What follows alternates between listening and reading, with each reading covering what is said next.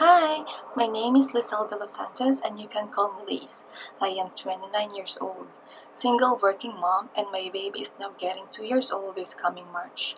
I believe having a positive attitude in every aspect of my life will always have a positive outcomes and results, and I usually get them, resulting in more success. I also have an ability to turn every challenge into an opportunity or make less than ideal situations into better ones. I always perform my work with passion and enthusiasm. I started to work as an ESL instructor last 2006.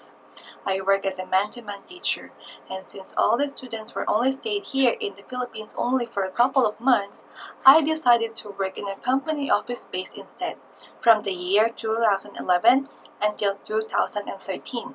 I have been teaching English as a home-based teacher since last year.